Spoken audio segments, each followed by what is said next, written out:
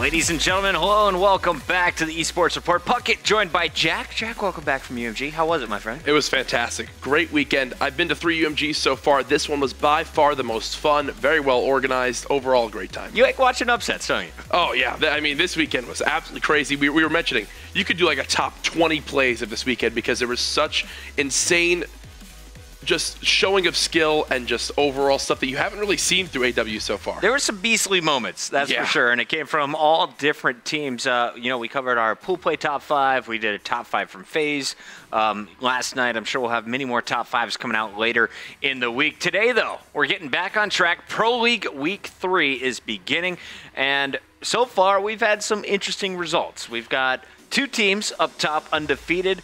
Optic Gaming sitting up top at 5 and 0. Yep. And denial now 4 and 0. Yeah, both those teams looking very strong. You expected them to perform this past weekend at UMG. On the other side of things, though, the other team we're really talking about, Epsilon. I got to catch up with Swanny this past week, and he said, online, we just don't have the communication. There isn't the energy in our matches. He said, that's the big thing we need to fix. They wanted to have a solid performance this, this past weekend. They did just that. Expect to see them turn things around this week. All right, before we jump into our Pro League recap from last week and preview what's to come tonight, let's go to our esports report presented by Xbox One breaking news segment. We just saw it moments ago. There's been an official transaction. Rise Nation making some moves, a trade with Elevate. Let's introduce you to our new lineup, starting with Rise. You'll notice a new face down there in the bottom left. It's not the pretty face of TJ Haly. It is Apathy Yeah. coming over from Elevate. Do you think this was by choice, Jack? I, I personally, I don't see how it could. Elevate looked super strong this past weekend, especially in their groups. Yes, they underperformed in the bracket, but when I heard who this trade was down for, obviously TJ Haly no longer on this team. Chino, Weeds, Apathy, and Goonjar, the new Rise Nation. I'm still baffled. I have no clue where this really came from. Chris, were you expecting any sort of trade like this? Did not see this one coming. A new Yeah. Rise Nation was in a little bit of trouble. Yeah. Off to a slow start in the Pro League. I thought they would have done something a little bit bigger of a move, uh, but and by bigger I mean multiple players being exchanged. But I'm I'm really kind of excited for Chino and Weeds. You're bringing Apathy into the mix. Oh, yeah. Not that he is a better player than TJ Haly, but in my opinion, he's a bit more explosive. Yeah, oh, absolutely. I mean, apathy, I think, is just overall, when I look so far at which player I'd rather have on my team, the veteran player in apathy, I would love to see him really perform and lead on this squad. Rise, will it fix all their issues? Uh, I think that remains to be seen. But on the other side of things, we now have the Elevate roster, and this was And- the big question for me is TJ Haly, not 18.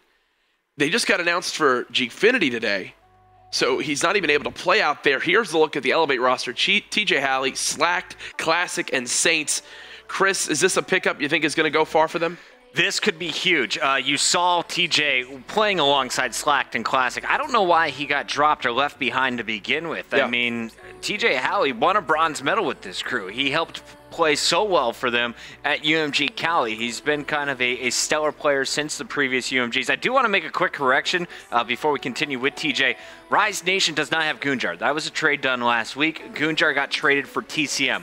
So Rise's starting lineup is going to be Chino, Weeds, Apathy, and TCM. There's a look, though, at the Oh, starting yeah, lineup yeah, from yeah. Elevate. Yeah, no, that, that, that was Breaking that, news. That was Gets good fix. confusing. That was a good fix to say the least. So, obviously, that one right there, that trade coming down, really out of nowhere. Looking forward to seeing where those two teams go.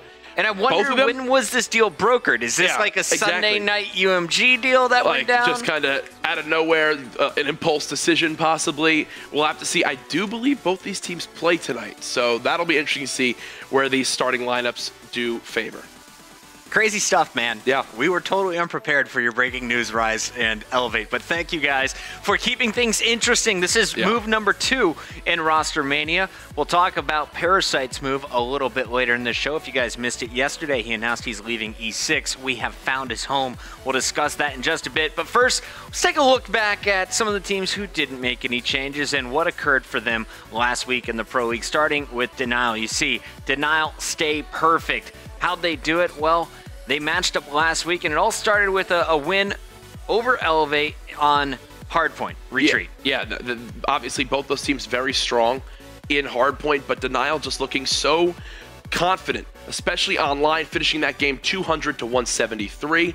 Really, that slang power on denial is what comes through time and time again. This past weekend, what I did notice at UMG and what I'm going to be looking forward forward to seeing on this team is how consistent Temp can stay because obviously he's absolutely great. This past weekend struggled though in some of the respawn game modes. I believe it really comes down to what roles they want for their team. They did a great job at time of rallying the drone in, especially in uplink. But this past weekend, th- there were some there were some maps where he just absolutely fell flat, and it showed in them losing those maps. Which is crazy because I was keeping track of the stats. I had to do the post recap show on Yep. Sunday night, and Temp's numbers overall pretty ridiculous. Yeah. He, he dropped from being highest in the pro league or, or top five in the pro league to a 1.14 overall. So you're saying he had some bad games? Yeah. Still manages to put up a 1.14 throughout the weekend. The whole team, 1.14 from Temp. Hook, a 1.24 was the highest on the squad, and Yeah. Slasher right behind him, a 1.2. Well, that's that's the ironic thing is that he was performing so well that those few games it was more of a slow start, and he wasn't really able to catch his rhythm, and the score would begin to get out of hand. Okay. would love to see replays kind of help him figure out exactly when they need him to push for a, a glass challenge on say comeback uplink or really fight against those teams who have two other strong ARs because Right. that's when he really does begin to struggle. Obviously, you have Slasher who's always going to be pushing the envelope, get, being the aggressive AR for that team. It really came down for me when Temp would go, all right, let me go solo, try to control glass, and they would die, but then do it again. And then do it again. It was just little things you would notice. And overall, I would say statistically, leading into Sunday, he was even stronger than that. And then it really began to tail off. The only two teams that beat Denial at UMG this past weekend were FaZe, who won the event, Yep. and Optic Gaming, who got second. Outside of that early G4G upset that somehow occurred in pool play. Yeah, that was pretty uh. Denial, though, looking very strong in their hard point last week against Elevate. I think replays dropping a 40 bomb. A big Yeah, Slasher was key factor in this. Which is Everyone so had rare. questions. Can can replay Slay? He's dropping numbers. Yeah, and, and when replays plays like that, I don't see how denial ever loses. And that was something that we talked about a lot with this team. Replays has had a history of starting off some hardpoint games very slow, even like double, almost triple negative, like 8 and 22. We've seen that before with him. If he can just get those kills inside the hardpoint, let the rest of these strong slayers on his team clear off the rest of the map, they'll be fine. Game number two, they wound up dropping though. A little bit scary in Search and Destroy on Skyrise. Yeah, six to two. They lost that one. Skyrise, obviously one of the new maps. Maybe they're just not as comfortable on it as of yet. Here you can see Slasher left in the one on three, not able to connect with those shots, but. Search and destroy. I personally think Denial looks like one of the best in this game mode. Obviously, FaZe this weekend had some uh, had some thoughts on that, going a perfect eight and zero in the game mode. But Denial at the moment, if they can continue working on just making sure they trade every round possible, I don't see how they lose things. Now, coming into this game, uh, of course, Denial does lose this to Elevate. They were 4 0. They Yeah. had a perfect search and destroy record. So, Elevate was able to take them down in this, but I, I'm wondering, you know, is it just the new map, Skyrise, that has them off, or what went wrong? Uh, you see, the one key thing that I noted, though, was it was multiple times that you see players in a 1v4, a 1v3. Yep. Denial was losing their guys in groups. Exactly, and, and, and that's the big thing. On the maps that they're comfortable with, you'll see them trade almost every single kill. Detroit Search and Destroy, they look absolutely unbeatable in it. But in regards to Skyrise here, they just fell flat. They have some fantastic search stats so far in season three, and that's really in what I talk about in the in 4-0 to start. This is the one they've dropped so far. Not too bad, man. Five games, you only drop one. In this series, though, it was all tied up going into this game number three. Uplink on Detroit, and you saw Denial strike first. You saw Temp going in for the dunk. Uh, pretty interesting game here between Elevate and Denial. You looked at the kills, they weren't too out of hand. I mean, Replay's doing his patented ball control only, only Yep. six kills, but they're able to put up five points in the first half. Um, I was pretty impressed with the way that Denial kind of controlled this map. In the end, it was very close. They started off five points on the more difficult side. Once they had the easier side, only able to convert one more point, Jack. Yeah, and it really came down to a clutch play from replays in the final few seconds. You'll see that here in just a little bit. He really drove his team to the victory there in the objective play style. But this is what I'm talking about, Chris. If they can win all three respawns against a team like Elevate, and their S&D is that strong too, if they can, if they drop one S&D, well, guess what?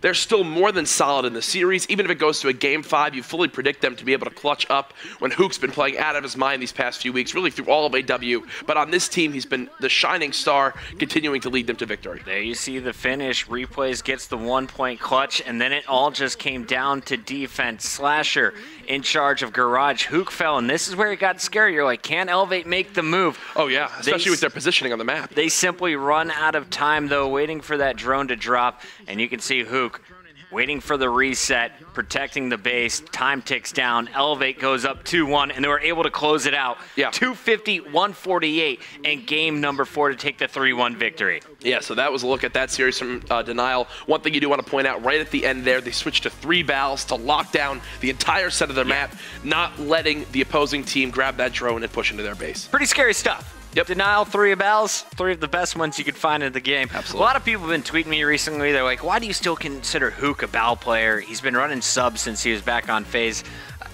See the man with the bow in hand, and he just crushes with it I mean, still. it's, it's it's one of those things with Scump always using the ASM one. I, when he uses the battle, you'd think that was all he ran because he's just as good with it. Both of those the, both of those players very similar play styles. You gotta love how they can control their their accuracy with either weapon. Absolutely. Now, another team we're going to talk about here today is Optic Nation.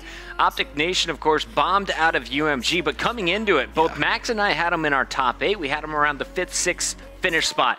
This matchup is kind of what influenced my decision. It was when they faced off against Epsilon, and it, it was really a, a rough start for Optic Nation. I mean, they lose the first hard point 230 to 177, but Yep. they're able to bounce back in the search and destroy. Yeah, they were able to come back into game number two. We do have a clip of this one. They won it six to three. Obviously, that's the key for Optic Nation. If they can take their S- their S and Ds, this is a team that can go very far, and it's what we've seen so far with this team. You can see Mochilla with the final kill cam here. Yeah, he Moch starts went off 3 0. He Not went bad. 12 and 5 in the nine rounds, leading his team to victory. He's just a player for the squad that has absolutely transformed their play style. Obviously, the strong bow presence on the map only helps Ricky and, and, and Mboz in those objective game modes. But really, what you need to look out for in the, with, with this team is if they can take like here, they lost game number one. If they can just sneak one respawn, you always have to expect them to step up in game number five. Yeah, and you got to keep in mind too that that Moch is playing off host the majority of these matches. Yep. Most of the teams playing against Optic Nation are saying, "Moch, you are not allowed to host from Texas. You have to play off host," and he's still dropping ridiculous numbers. Surge has been his strength, but they were also able to win a, a, a respawn when it came to Game Three uplink. Yeah. They went into game number three, and Ricky and Miracles just absolutely took over in the re- in the objective game mode while they just let Mochilla kill everything on the map. He was hot It's in Moch game number two. it. Went into game number three, dropped 36 kills, a 1.57 KD, and this is exactly what we're talking about with Optic Nation. If Mochilla can just control the map for this team and really let Miracles get that drone in for his squad, if Mboz stays around even but wins those gunfights and get the mm-hmm. map control, obviously it's not all about KD, but let's say in a comeback uplink, if he's getting control of blue when they're trying to push on to that base and score, and even if they can chain one together, one point plays together, that's when ON will take these maps. They won it nine to three, went up two to one in the series heading into Solar Hardpoint. And Now, uh, real quick on Optic Nation's uplink game, they only dropped it once, and that was to Envy on Yep. Parliament, the brand new map. You could tell Optic Nation wasn't used to playing it. It's also the same game, if I remember correctly, that Octane dropped 42 kills. Moch couldn't get anything going. Octane had shut him down. 42 and 19. Eh, He was just killing everything on the map over a 2.0 KD ratio. I mean, to even keep that close, I think they only lost that one 7 to 3. To even keep that in a two possession game is pretty crazy when Octane is just slaying everything in his sight. So look for Optic Nation to continue having some success in the uplink game. Hardpoint though is where it gets a little bit scary. Here in Yep. game number four, we'll take a, a few glimpses at what was happening on the opposing side. Epsilon was able to dominate Drift 230 to 177. Here on Solar, it was 240 to 123, basically doubling their opponent's score. Yeah, and this was the thing we saw in this series. Remy, in game number one, for Epsilon, drops 42 kills, a 1.56 KD with 13 captures and 7 defends. They just couldn't get him killed inside the hard point, and he would just chain together time for his team. Here in game number four, very similar from Royalty.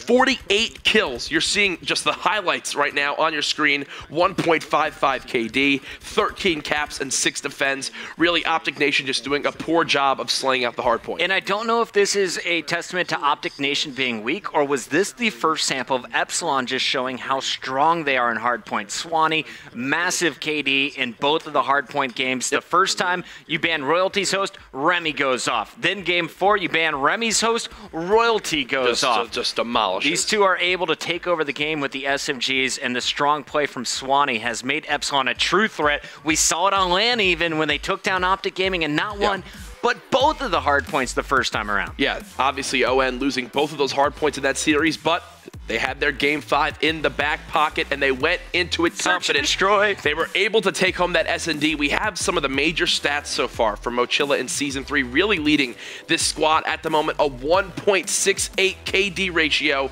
of that's first in the Pro League, Chris. Absolutely dominant right now, averaging over a kill per S&D rounds. That means that even if he gets a first blood, he get, he'll get traded, and either way, he's gotten his kill for the round, helping his team get it done. It's been really impressive what Moch has brought to this squad. We knew Optic Nation needed a, a, change after season two. Yeah. We keep talking about this guy because he keeps putting up ridiculous numbers. Mochilla, number one S&D KD so far in season three, is definitely your player to watch in games two and five. Every single series Optic Nation's involved in. Yeah, and on the other side of things, Epsilon drops that game five, making them 0 and 3 in those major game five scenarios. That also dropped them to 0 and 5 in the Pro League. Pretty rough finish there for Epsilon, Yeah. but they saw a, a little different story from the rest of the guys on the other side of the pond. TCM Yep. picking up Aches and uh, TP. We saw them finish with a fifth place finish there at, at UMG Dallas. But Yeah. before we got to Dallas, TCM was able to take their first win in Pro League,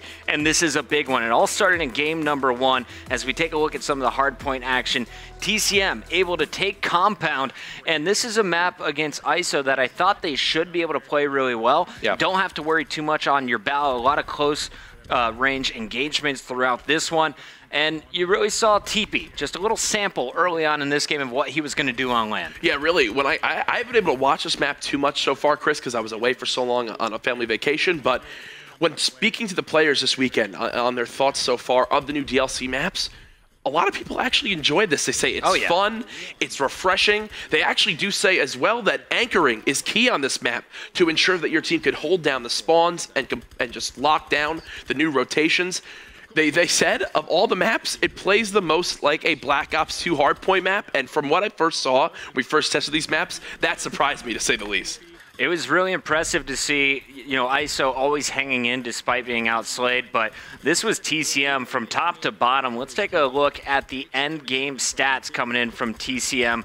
TP, 40 kills, 9 captures, 4 defense. You saw Aches also dropping a 40 bomb. The Yep. dynamic duo back at it again inside of uh, hard points. And I'm excited for TCM, man. They had a really slow start. A lot of people thinking, oh man, Aches and TP, they're going to have to either kick off Moose and Jurd or Moose and Jurd are going to have to go look for some new players. It looks like finally the team is starting to gel. Well, I got to speak to TP on his thoughts of his two new European uh, teammates on this squad. He said he absolutely loves playing with Jurd. He said if Jurd can just continue just slaying out those hard points, you can see here in this game he finishes 32 and 36, nine captures, 11 defends, just doing everything inside the hill for his squad. TP says he absolutely loves playing with him. He said if Moose can just drop some slaying numbers for this team, he doesn't really see where they wind up losing. There's an overall look at the stats yet again 40 and 37 from TP, 40 and 31 from Aches. Both of these players, though, TP and Jurd, finishing with nine captures. Yeah, and I think the most important stat to me there is Jurd's 11 Yeah. defends. He is playing the karma role. He's not always going to be the first one to break a hard point, but he's the guy that they leave to kind of sit inside. And on a map like Compound, Jurd with his snap reaction using that ASM1, ferocious. From there, it was isolation taking the search and destroy. TCM battles back in uplink though, and that led to a second hard point. Yeah. TCM on match point, and they were able to get it with some impressive play. Yeah, extremely close game here, finishing at 235 to 225 for TCM. Here's a look at the final hill. Obviously, that school hill on Detroit Hardpoint, one of the most entertaining hills to watch because at the end of every game, it just feels like it always comes down to this one. Yeah, and you could see ISO at this point in the game was up by about 15, so they had a nice lead coming in. This is just a testament to TCM going clutch. You see Havoc, a great game for ISO, positive six with 10 captures. On the other side, Jurd was able to meet every single one of those stats, plus four on his end, 10 caps of his own. The defense were through the roof. Talk to me a little bit about TCM, though, man. I mean, these weren't blowouts. The first one, 226, 169, pretty big lead, but the final one, you had to win it in the final 30 seconds is TCM a team you look at to be consistently strong in hardpoint? Uh, they need to be to be successful so far in season three. But the big thing is that both of these hardpoints were on ISO's host. They took both of them, which is very rare to say the least. Here you can see the final two kills coming out of Aches. All four players of TCM finishing with over 30 kills in this game. Everyone pulling their own weight. Great to see with this new squad. All right, guys, we have just one more team to talk about from last week, and that, of course, is Team Kaliber off to a pretty brutal start in our pool play in our regular season rather for yeah. for Pro League. Team Kaliber off to a slow start after going and making a major roster move. They brought in Theory, they brought in Neslo, and it's really not turning into hardpoint victories. You saw it against Optic Gaming. They ran into the brick wall. 218 109 Optic Gaming was able to spank them on Solar. Doubling their score, and really the two stat lines to look at Formal 46 and 29, Crimsix 41 and 28. They are just slaying everything on the map. No one even getting an opportunity to hop inside that hard point. Looking at that game right there, the back lot hill was just absolutely dominated by Optic Gaming all game long. It was really where they got a majority of their points, and TCM I mean, uh, TCM. TK really didn't stand a chance. TK, they, they've been struggling hard point. Yep but they've looked okay in Search and Destroy. Here's a look at some of the highlights from that game at number two TK versus Optic. Of course, this is Skyrise, the new map. Uh, the Bells seemed to be the thing that was working. They were struggling keeping up with Optic Gaming and Hardpoint, just not knowing how to keep up with Scumpy in the ASM 1 play. But when they had Bells in hand and were able to make their shots count, TK really performed nicely. They finished the game 6 and 4. Jack, talk to me a little bit about this matchup. What did you see from Team Kaliber in their bounce back game two? Really, the impressive player for me had to be Neslo. Finishing that game eight and six, he had one defuse as well, just locking down the middle of the map. You saw one of their one of his kills there on Underground, which just stopped the flank from Optic Gaming from being successful, to say the least. They were able to take that map number two win, and Chris, this goes back to saying one of the new maps. How comfortable are these teams on it? I do believe I'm, I'm actually not entirely sure of if we're going to be seeing them played at Gfinity as well in uh, just the in a, in a couple weeks. So that's I'm gonna go ahead really, and say yes. Yeah, that's something to look at to say the least. So if they wind up playing those, you're you're gotta fully expect these teams to improve on these maps in the next couple of weeks. You see some of the other highlights. Scumpy was really the one with a hot start for Optic Gaming here in a one-on-two. Not able to get it done. Time ticking down. 4-2 start. Um, impressive finish by, by Team Kaliber, and I think Neslo, like you said, he had a strong yep. game here. Definitely going to be a player to look out for throughout all of the S&Ds. He brings a new energy.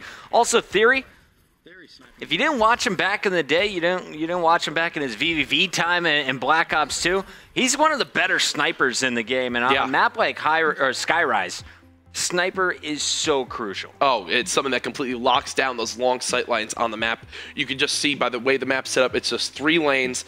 If you can just be able to hit your shots, which you'll see from Attach and Formal, if Theory can do that for TK, this is a map they'll be able to consistently take. We moved into game three after the TK win, all tied up 1-1. OG stomped them 13 to 5 there on Biolab uplink, and then we moved into compound hardpoint and Chris, it was another yeah. dominant performance for OG. They took that one 250 to 105. They had a bad time in their hard points. They, they yeah. totaled, what is that, 214 points in their two games of hard points. That's a good score for yeah. one game. Getting about half of what you need in two games combined. Overall, though, in hard point, the team is just one and seven. They've lost, you know, two of their five series. Their average score this is this is the this is the big thing. 55 only, yeah. and they're letting their opponent score 226 points. A 70 point differential, a .85 team KD. Another thing to point out in this series, Optic Gaming outslayed TK by a total of 93 kills in the two hardpoint maps. Uplink wasn't any different as Optic Gaming went positive 30 in that game as well. TK needs to start winning their gunfights more. They need to start working on overall their, their retaking of the hardpoints and then also just holding them down To be quite frank, Chris, they need to work on everything. They need to just work on every aspect of hard. TK needs a little help in respawn. Too far away from going back up. I mean, you look at the competition. You have what is that? One, two, th- six of the 12 teams have a losing record so far. It makes sense, right? Yep. Orbit, the only team with an even record at two and two. Everyone else above them is positive. But TK, I, I definitely think they could bounce back, but not until they fix their hardpoint game. And that's the big thing was that this TK squad, the way you look at it, they would have been really strong in CTF. When Neslo and Theory were both on Rise in season two, they led them to a 24 Right. and 12 CTF map record. Now that that's gone, they no longer have that game three that they can really get to keep them back on track. So let's say they lose that hard point. Well, or game four, I should say. They lose that hard point in game number one. They can take the S and D if they're able to sneak an uplink, and there's your CTF. Right. There's your series three-one. Done. Uh, That's basically it. Now that's gone. They have to require. They have to start taking some hard points if they want any chance to come back into season three. Let's look at some of the data from Capture the Flag. Theory, number one, Neslo, number eight, both in the top 10 for CTF caps per game during season two. Yep. Uh, those two players, of course, helped Rise get to a 24 and 12 CTF record throughout season 2 Mm-hmm. You know, they were the only team, if I remember correctly. There was one team, I think, even. This was the only team with a positive CTF record. Yeah. They dominated with Neslo and Theory. How do you how do you convert this? What changes between CTF and Hardpoint? The big thing for me is right now they're being outslayed in their hard points by an average of 11 kills. That's second worst in the league. So Okay. that's, that's where it first comes down. So to. just get kills. Yeah, they just need to start winning more gunfights. They need to just work together and calling out. I think that's a big thing. Calling out where the opposing team is spawning at and calling out where they're spawning from. That little bit of extra information can give you an advantage on the opposing team and also your overall positioning in the hard point. It's something that Crimsix is great at doing for Optic Gaming. If you hear the listen-ins with OG, he'll completely and just always remind his team to call out where we're spawning, call out where they're spawning Small because talk. i- i- i- you, if you can left trigger where you think the opponents are coming from, you already have that fraction of a second advantage on getting the kill. You're good to go? Yeah. All right, guys. That is a quick rundown of what happened last week. If you didn't catch the start of the show, of course, denial staying perfect. A big storyline there. We saw a glimpse. Uh, well, it was a really good match. Optic Nation, Epsilon, really. Kind of crazy to see those two teams going toe to toe. Yep. Optic Nation, heavy favorite in Search and Destroy. Epsilon, the heavy favorite in the hardpoint games there. Um, TCM, they got their win against Isolation. It wasn't the prettiest win, but good games out of TP and Aches, just like we saw at UMG Dallas. And then, of course, here, TK going up against the number one team in the Pro League. Optic Gaming, after that win, takes the number one spot overall at 5 0. After the commercial break, though, we're talking about some new things. Of course, we have a full night of matches still to come a little bit later on, starting at 6 o'clock, but they're going to be involving some brand new players. We'll break down the big move between Rise Nation and Elevate, as well as the new player on Isolation Esports. We'll be right back.